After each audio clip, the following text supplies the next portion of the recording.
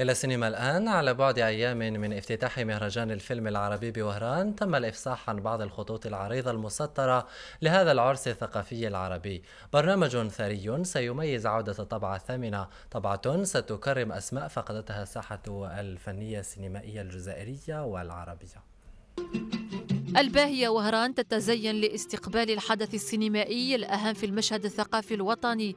أيام قليلة تفصلنا عن انطلاق مهرجان الفيلم العربي لدورة 2015 في طبعته الثامنة. مهرجان وهران للفيلم العربي ونحن طالبون بأن ننجح هذا الحدث الإبداعي والفني الهام وهو آه، بلا شك سيكون رهانا لنجاح الثقافة الجزائرية في أن تبسط حضورها على الصعيد العربي وهو مهرجان اكتسب الآن آه، قيمته من أهمية ما يوفر من إمكانات.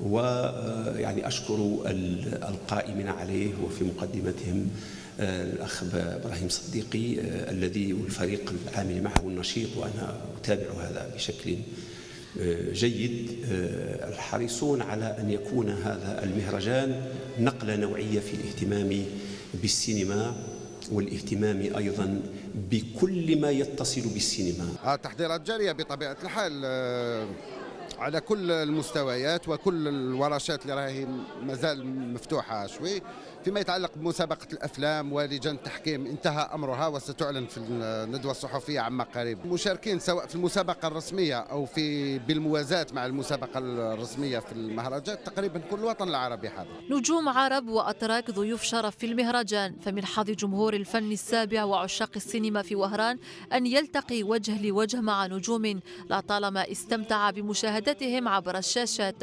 فنجوم مسلسل حريم السلطان سيكونون حاضرين بقوة في هذه التظاهرة التي تحتفي بطبعتها الثامنة بالسينما التركية.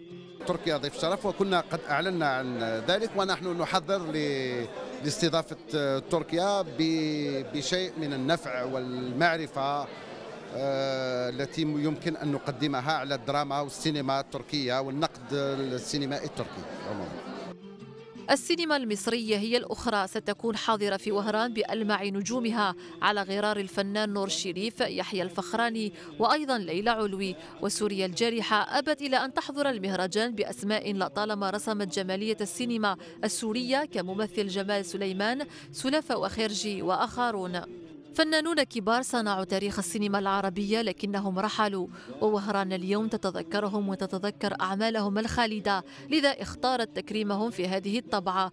الروائية الجزائرية أسيا جبار وصندريلة الفن الجزائري فتحة بربر.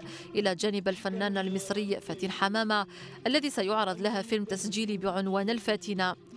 التحضيرات الحثيثة لهذا الموعد والشخصيات الهامة التي ستحضر تعد محفزا كبيرا من أجل حضور هذا العرس الذي سيتوج فيه كل من السينما والفن والإبداع العربي.